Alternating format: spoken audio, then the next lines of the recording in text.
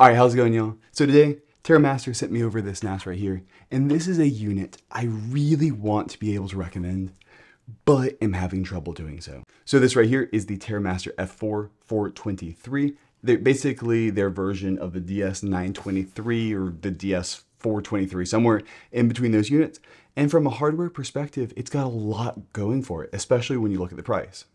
It is a 4 bay unit with M.2 NVMe SSD caching, with two built-in 2.5 gigabit LAN ports on the back, and even an HDMI port.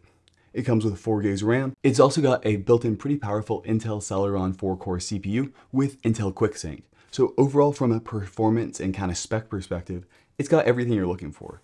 Really solid unit. It does have an external power supply, which is pretty much common for all these like four or five bay desktop units. I've only really seen inbuilt power supplies, at least for Synology side, is starting about six bays. So they all pretty much have it. And overall, there's a lot of stuff to really love on this.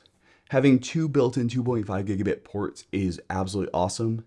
If you compare it to the DS923 Plus right here from Synology, it has only two 1 gigabit ports, and that is going to be a huge slowdown for you because that is really going to limit the maximum transfer speed you've got, assuming you've got a wired connection. Now the Synology does have the ability to add in a 10 gig card, but it is a pretty expensive $160 upgrade, whereas this just has two built-in 2.5 gigabit ports without the 10 gig upgrade. If given the choice between the two, if I had a modern switch that supported 2.5 gigabit, I pretty easily would recommend this, just because two 2.5 gigabit ports especially without having to add in an, a costly upgrade, is way better than the option of 10 gig. Because for the most part, when you're looking at a four hard drive configuration in a RAID 5 setup, your maximum speed, even when the drives are pretty empty, is looking to be somewhere around 500 megabytes per second.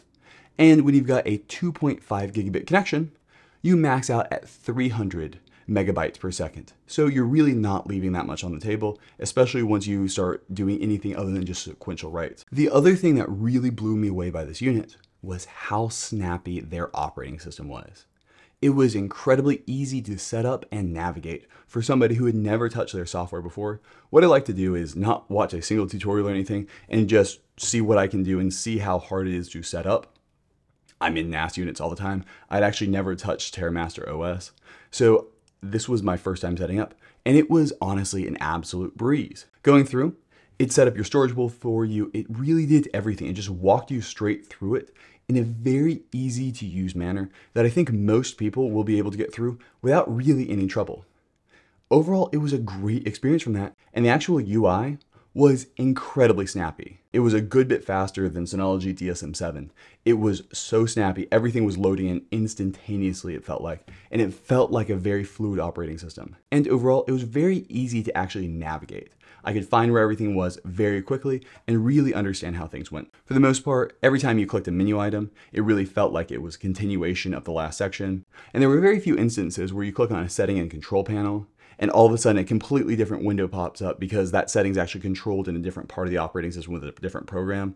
That's one of those things that's very jarring to new users, especially who don't really know their way around it. And all of a sudden, all these things are popping up and it's hard to find. That was one of my big issues with QNAP was it was just very hard to track in that sense. And there were very few instances of that.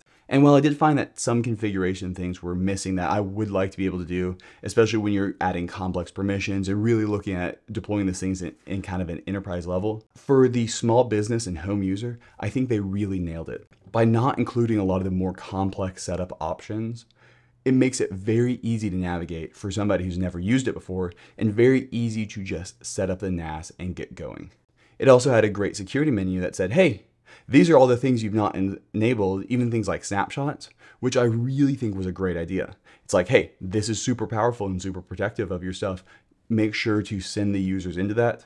And overall, there were really a lot of great options in there that made it very easy to use. I thought it struck a very easy balance, and I feel like most people could probably deploy this just as easy, if not possibly easier, than a Synology NAS, which is something I really think is high praise. And so overall, I was very impressed by how easy TOS was to set up, especially when you're looking at a small business or just a home user who is really just looking for a simple file server to dump their files. then the price is actually very good as well. This is one of their more expensive units for this segment, and it comes in at $500, which is $100 cheaper than the DS923 Plus, and the DS923 Plus does not have 2.5 gigabit built into it. And so it does come in a good bit cheaper than that with additional features. From a noise perspective, it was a little bit louder than the 923 Plus, but nothing too bad. You definitely heard a pretty good whirring the entire time, but nothing that would really annoy you too much. And overall, it's got pretty solid build quality across the board, and the drive trays are very easy to pop in and out, and just your simple design that makes it very easy with a complete toolless design.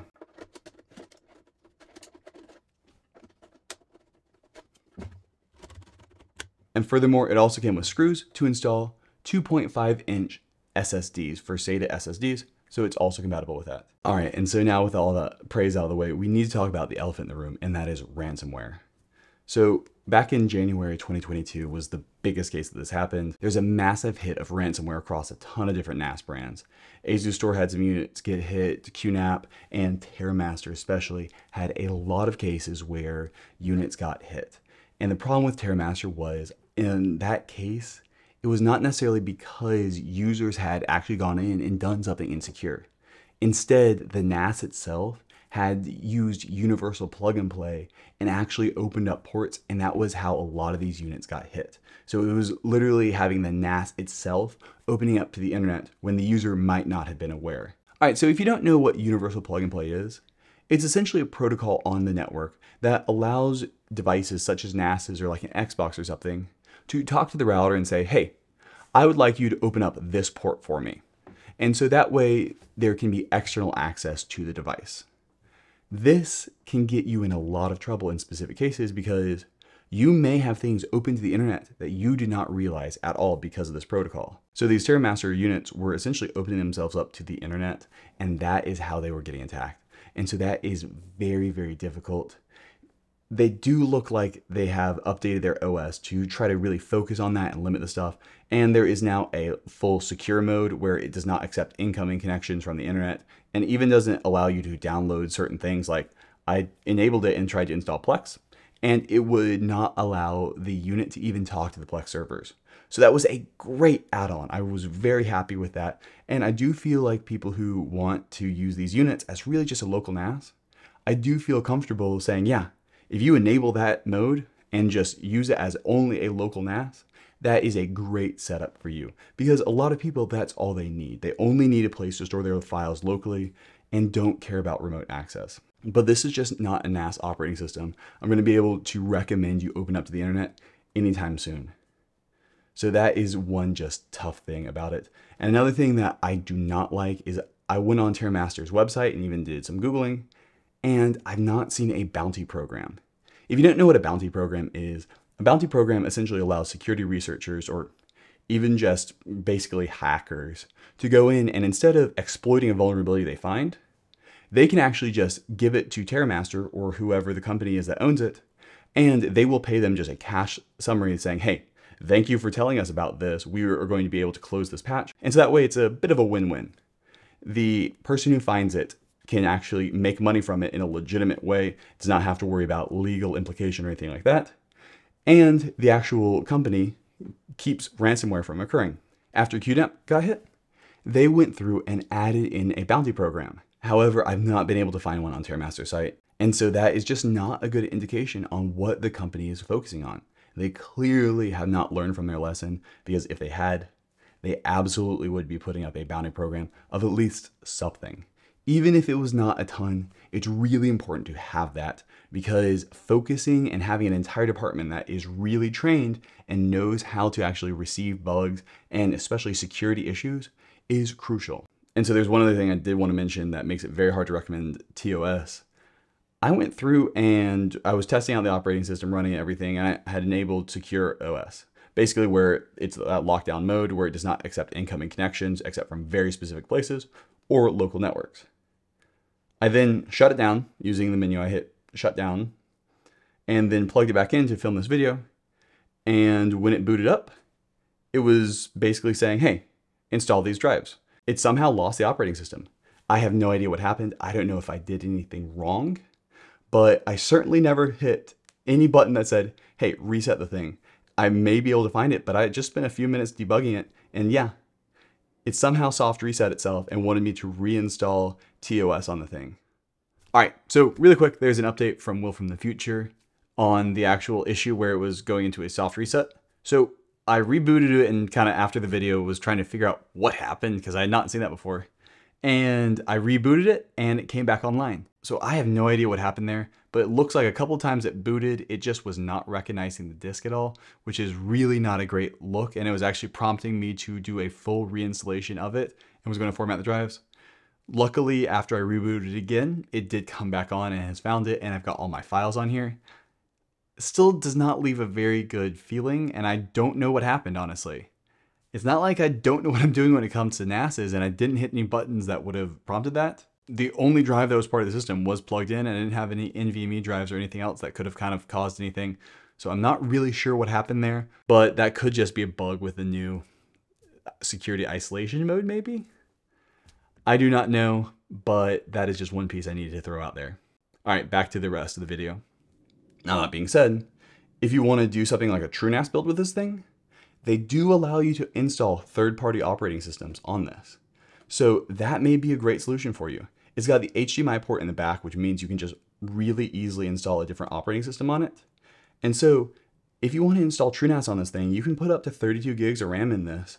You can have yourself a pretty powerful box. You can use one of the built-in M.2 NVMe slots to actually have your operating system on there, and then use the other one as something like a layer 2 ARC for NVMe caching. So that is a great use for this unit, and you know it's just going to be very secure. You're not going to be able to have external access to this thing, except if you use something like Nextcloud or anything else. TrueNAS is really built in as a NAS, a local NAS, and then you can install stuff on top of that. And that's honestly what makes it so secure. By not having people be able to access it remotely, unless they figure out how to set up for themselves and want to have a VPN solution or whatever, you really can secure yourself a lot. Because if you don't have any external access to the NAS and you're not using universal plug and play or anything, and so nobody can really get in, it becomes really, really hard to get hacked.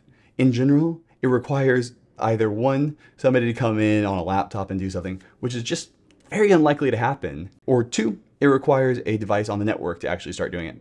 But both of those things are way harder than some Yahoo just going in and scanning FTP ports to see what is open and basically brute forcing their way in.